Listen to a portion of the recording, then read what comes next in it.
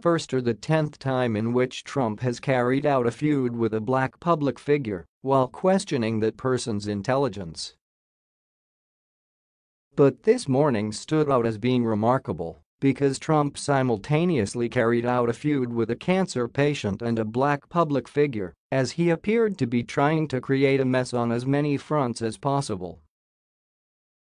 After Spike Lee used his Academy Award speech last night to encourage people to vote in 2020 for morally superior candidates, Donald Trump accused Lee this morning of having given a racist speech.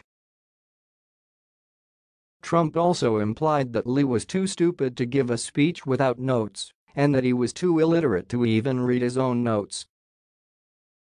This was remarkable, considering that Trump's own tweets suggest he's semi-illiterate and he's easily the worst teleprompter reader in modern political history. Then Donald Trump lashed out at former Senator Harry Reid, who is now battling cancer. Trump falsely claimed that Reid was run out of politics, he retired, and accused Reid of career-long dishonesty.